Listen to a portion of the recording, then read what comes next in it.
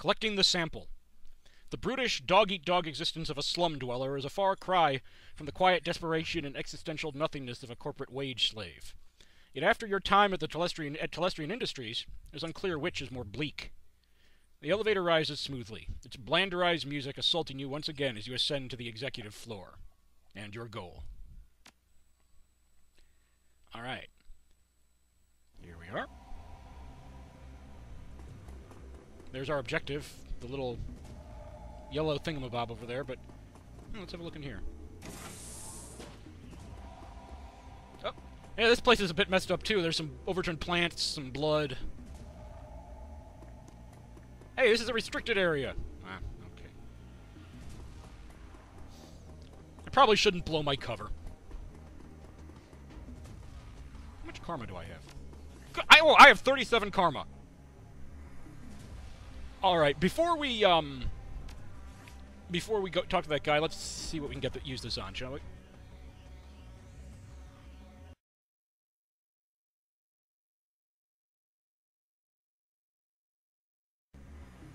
Let's open up the door. And here's Mr. Silverstar.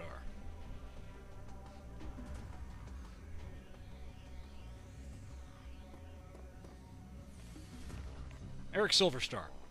There you are. It seems that some of my best are letting me down, and it's good to see that you're displaying one of the most important of my three key values.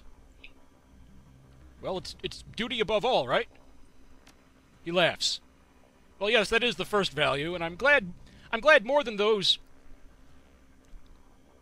I'm glad more than those outside of security follow it, and from a janitor, no less. Okay, that, that sentence needed some proofreading, I think. Yeah. But yeah, okay, yeah, he's he's but yeah, he's you know he's glad to see you know our, our devotion. No, I'm speaking of my third and final value of vigilance, which seems to be sorely lacking around here. One option says he calls you a janitor. You say we prefer building maintenance, sir. but no. Thank you, sir. Well, rewards and punishments must must given. Yeah, this, they really need some proofreading in this guy's dialogue. Must given where required. Now please start filling out the report on the data pad, and I'm afraid I must ask you to not sit in my chair given your attire. That needed some punctuation. I need to go head downstairs and investigate your findings. I'll be right back. Okay, yeah, that could have... Dialogue could have used a editor's touch there. Yeah. Oh, well, it's not a huge deal. Oh, meanwhile, my throat has recovered enough that I'm gonna I'm doing the I'm giving in to my base instincts. I'm doing the horrible French accent again. Your comlink begins to ring, and you pick up. So these paintings must be what all those expensive deliveries were. We don't have much time. I am tracking Silverstar, and he is already stepping off the elevator. I don't think your disguise will hold up much longer. I'll update you on his movements. Hurry, mon ami. Okay, now let's look around. This? There's an open bottle of expensive scotch and a single glass that appears to be half empty, and ha and a half-smoked cigar. Okay, let's see. There's all these paintings on the wall. The painting is of a, a small lighthouse in intense storms at night, perched on a rocky outcropping. Its light stabs out into the darkness. The plaque reads, Vigilance. Option, we option push the frame. Well, not yet. Leave it alone.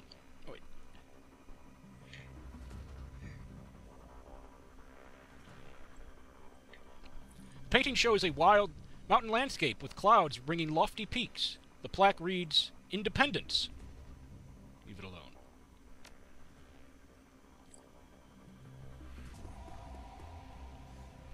This is a photorealistic painting of five massive harvesters in Telestrian colors, in a staggered formation, cutting a swath across a rippling field of wheat. The plaque reads, Unity. Leave it alone for a second. I really hope this puzzle is not what I think it is. Depicted as a clock tower at a train station in downtown Portland in the Tir. The plaque reads, Efficiency.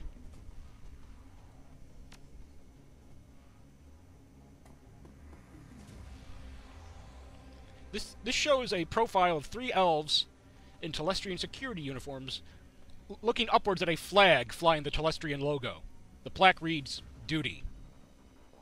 And again, see, it's like the sort of like, you know, like a flag. It's like the sort of imagery we'd, we'd associate with a nation state, not with a, you know, corporation. But that that's the Shadowrun world. Duty. Push. okay, now let's think a moment. There are these paintings, and there are three. There are the three, you know, core values. You know, Right. the first is duty. The last one is vigilance. Third is vigilance. Let's try pushing the frame.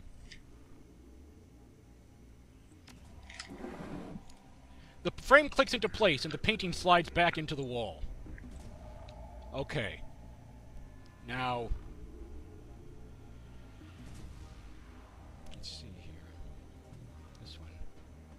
Clock tower at a train station downtown Portland to the Tir. The plaque reads efficiency. Now we don't know what the middle value is. It could be efficiency, unity, or independence. I'm kind of guessing it's not independence. Yeah, that doesn't strike me as the correct answer.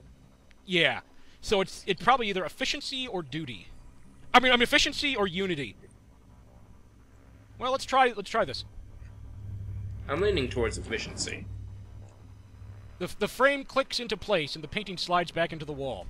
He has a few guards, a tech worker and very nervous wage slave, gathered in the boardroom and is beginning to question them. Okay. Only these options left. Okay, now we know the third is vigilance. Let's try that. Push the frame. Frame clicks into place, slides back into the wall. Anything happen? Aha! Look at this.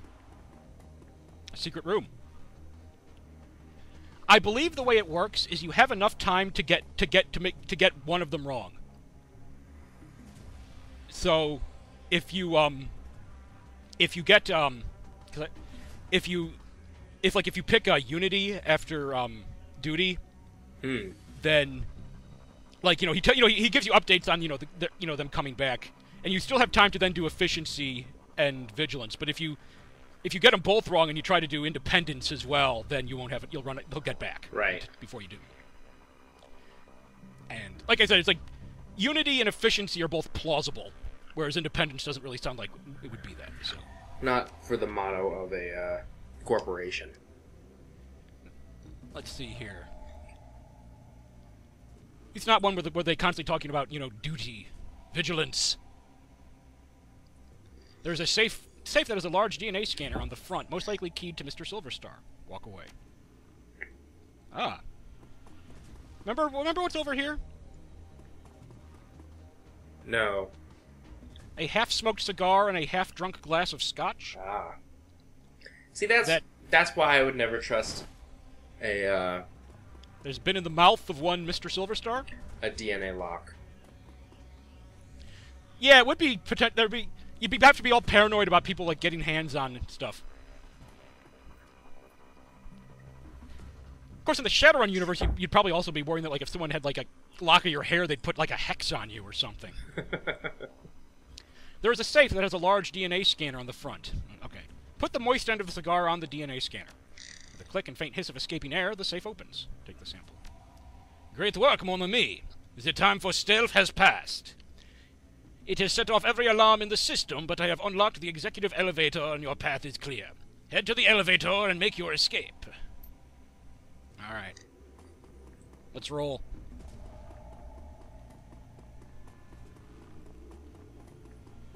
That'd be kind of awesome to visit an executive's office and see their private elevator. Alright, now let's see. We're gonna have to head through here. It's a restricted area, but. Imagine having an eleva- an entire elevator shaft to yourself. Right? Seraph did. Oh, oh yeah! Well, that's a strong endorsement right there.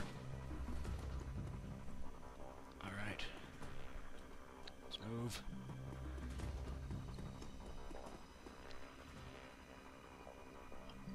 Have we escaped? Safely? Have we gotten away with it? Oh, shit. Well, this is awkward. Hmm. McCluskey. Detective McCluskey stands smirking, surrounded by armed and twitchy Lone Star officers. Good morning, moron! Good morning, Detective McCluskey. It's a fine day for police corruption, isn't it? The smirk broadens. That's right, dummy. Keep flapping your jaw. That sort of thing will be perfect for where you're going. Mr. Telestrian wants to meet you in person. He wants to chat about last night's fun and games. You can come along quietly, or you can meet him in a body bag. Now, remember, we discovered last night that he, this guy, is actually on the Telestrian Corporation payroll secretly, Right. And apparently, keep, among other things, to uh, cover up uh, the death of Sam's mother, which he may have actually been involved in as well. But he smiles wolfishly. Come on, Drek for brains. Make the wrong choice. Let's get this over with. I have things to do. Damn. I was hoping to be able to bring you in feet first.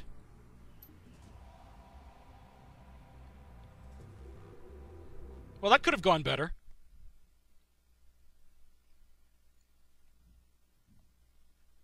The estate.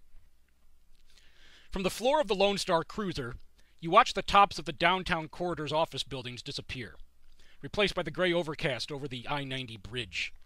The nylon restraints binding your wrists and ankles, along with McCluskey's whistling to the radio, makes for an unpleasant ride. A half hour later, the cruiser hits a whisper smooth patch of road and a magnificent mansion fills your view, its design a blend of old world finery and elvish grace. The car pulls to an abrupt halt, and you're dragged onto the driveway where, McCluskey pulls a nasty looking knife and cuts your bonds. You look up to see you're surrounded by a squad of green clad ghosts, special forces troops from Tir Tairngire. Which I told you is like one of those it's like this like elf majority state in over in most of what used to be Oregon. Right. Remember uh, one of those paintings that mentioned it depicted a scene in Portland. Massaging the feeling back into your numb extremities, you prepare to meet the man himself, James Telestrian III. Who, as I said, in addition to being the head of Telestrian Industries, is also the corporation is also part of uh, what's called like part of the ruling council of uh, Tir Tairngire as well. Right. Mr. Quoth. It's an interesting name. Whoa! I'm terrified. I'm I'm pretty sure we should I should be terrified of this dude. The fu- the fussy elf with the air of a Victorian butler studies you before he speaks. He doesn't like what he sees. He looks like like an old west like Undertaker. Right? Yeah. Oh, if were if, if an old west Undertaker was also an elf. Old West Undertaker elf would be great. Yeah, that that would be that that needs to be like a like a web comic or something. Mr. Telestrian is expecting you. You will find him in his office. This is an extraordinary estate. You can say thank you, Jeeves. But this is an extraordinary estate. May I look, look around before I see him? You may wait here for a few moments to gather yourself before you enter Mr. Telestrian's office. Some people find that they need time to prepare themselves before meeting an elf of his stature. However, the upstairs is off limits to you, and the library is occupied at the moment. Do not tarry, though. Mr. Telestrian is not one to be kept waiting long. Who uses the word tarry nowadays? I have no idea. Hey, let's say something. Let's talk to McCluskey. Ah, we can't. There's that bubble over his head. All right, let's. This is uh, the um, Telestrian estate, or at least one of them. Notice there's that arch thing has some sort of magic whatchamajig over it. yeah. Looks like a statue or perhaps a suit of armor. Ca- a lot of candles. Wait, here's something. Wait, it's Algernon! What? It's Algernon, the magic guy. Oh. What's he doing here? Let's, let's say hi to him. Also, check out this. Uh, check out this fireplace with a big dragon over it. Uh, in uh, Shadowrun Dragonfall, at one point, in this- one point, there are actually uh, gargoyle statues that actually come to life and attack you. Nice. Let's see. Talk to Algernon. There's a twinkle on Algernon's eye that wasn't there when you spoke at the Seamstresses Union. It is good to see you again. There is much to do. You run in some pretty different circles, don't you, Algernon? I do not run at all, Flandry. I go where I am needed. I am needed here. Seek me out after you have spoken to James Telestrian. Perhaps I can be of service again. Well, this is odd. Didn't certainly hadn't expected to find him here. Okay. I like I like Algernon. He's one of my favorite side characters in this game.